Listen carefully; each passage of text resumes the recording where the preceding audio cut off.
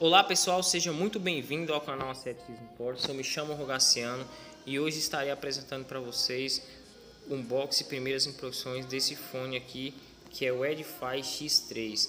Como vocês podem ver, galera, essa caixinha aqui é uma caixa bem diferente, loja oficial da Edify no AliExpress.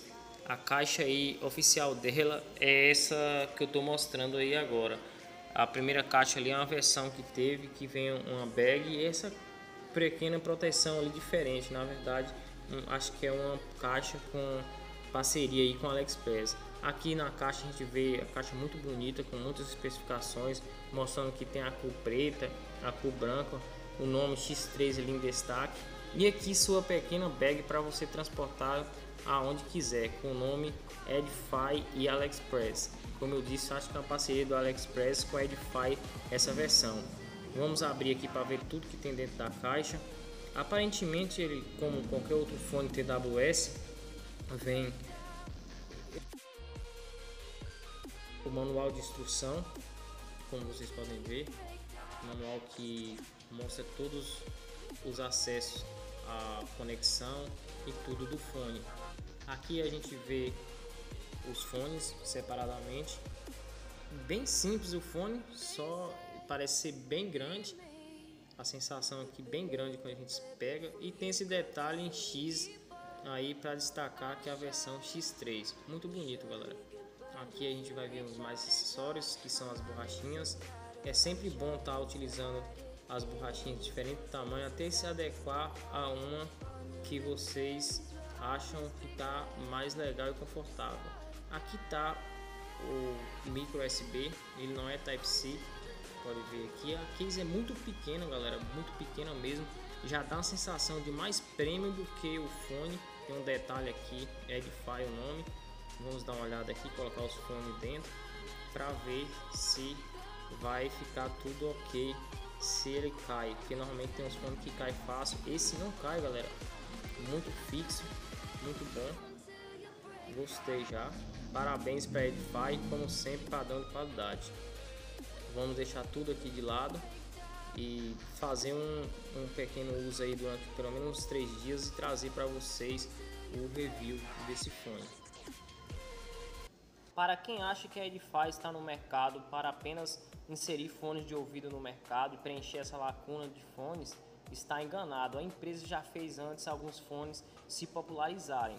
Vamos conferir depois de ter usado o Edify X3 pouco mais de 4 dias e trazer minha experiência a vocês sobre o fone. Vamos começar pelo design do X3, é um fone de ouvido comum, apenas tendo um X diferente dos demais modelos. Ele é vendido nas cores preta e branca. Peguei essa cor preta por ser mais uma cor sólida, além de ter muitos fones brancos aqui em casa. O seu estojo de carregamento já passa por uma sensação de mais prêmio do que o próprio fone e além disso ele encontra-se um carregamento micro USB, não é Type-C. Eles vêm com as borrachinhas para diferentes tamanhos de ouvido, como qualquer outro fone também.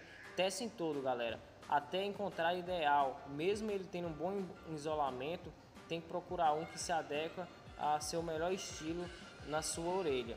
Embora ele seja bem fixo, o isolamento de ouvido dele ser excelente, utilizando ele por mais de uma hora dá aquela sensação que o ouvido quer dar uma respirada.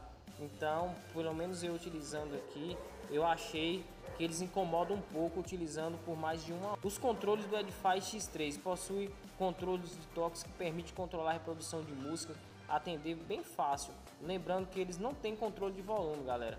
Eles funcionam em ambos fones independentes. Estarei deixando na tela comandos que são bem simples de aplicar no fone mas estarei deixando aqui também para vocês falando que é uma vez um toque vocês reproduzem, pausar dois toques, música anterior vocês aplicando três vezes ele volta para a música anterior e pressionando por dois segundos ativa o assistente de voz. Outros recursos que existem também no Edify X3 é sua bela conectividade Bluetooth, ótima conexão na versão 5.0 e também tem o IP54 resistente a poeira e respingo. Além disso, temos cancelamento de ruído que está na versão CVC 8.0. Porém, mesmo assim, eu utilizei em alguns lugares no final de semana, onde é que tem ambiente externo, ele tem, ele passa um pouco de ruído. Não é muito bom esse é, isolamento dele não, mas está dentro do esperado. Para os audífonos, não se, não se preocupe, temos também o aptX, suporta uma taxa de decodificação que seria a qualidade de um CD, ali na, em torno de 352 kbps. Os fones Edify X3 ele soa bem melhor nas músicas EDM, que são as músicas eletrônicas. Eu testei eles aqui, ele é bem equilibrado na, nessas músicas eletrônicas. Porém, em músicas acústicas eu não gostei muito, é, mas com o tempo você acaba se acostumando. Em jogos eles funcionam muito bem, mas depois de uma hora eles se ofegam, como disse acima, precisa retirar para dar aquela sensação de alívio no ouvido. Para streaming de música, pelo menos eu achei que precisava um pouco de volume. Nesse caso pode ser um gosto meu de ouvir a música um pouco alto para streaming, mas o som dele é excelente. A bateria dele, galera, a bateria é muito boa. Eu utilizei ele acima dos 90%. Deu como a fabricante falou, que em torno de 6 horas que a fabricante determinou. Eu fiz os testes deu em torno ali de 5 horas e 40, às vezes passava de 6 horas é, sem ser totalmente no máximo, mas eu testei ele no máximo porque o fone não estoura os tipos ouvindo no máximo.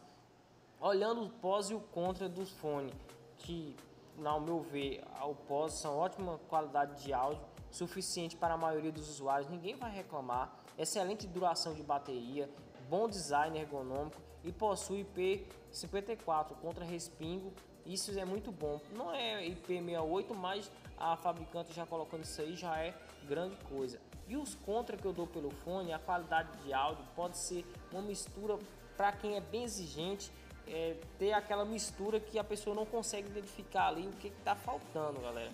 Mas tá dentro do esperado. Não é adequado ouvir por grandes períodos longos. Eu não é, gostei muito de ouvir ele por mais de uma hora. Dá aquela sensação, como eu falei, de, incomoda um pouco. Não é por ele ser alto demais, é aquela sensação ali que ele abafa muito. E não há controle padrão de equalizador de sua preferência também não mostra o nível de carregamento da sua case. A minha conclusão que eu acho do fone, podemos sempre argumentar que precisa melhorar mais, poderia ser melhor, mas nessa faixa de preço e um padrão Edify de qualidade, eu acredito que está tudo dentro do esperado. Vale muito a pena pelo preço oferecido. Quem quiser algo melhor vai ter que desembolsar mais um pouco, galera. Então, essa aí é a minha pequena análise. Espero que gostem. Se tiver alguma dúvida, pode deixar aí nos comentários que eu estarei respondendo. Quem gostou do vídeo, deixa aquele like, não esqueça de se inscrever no canal e até o próximo vídeo.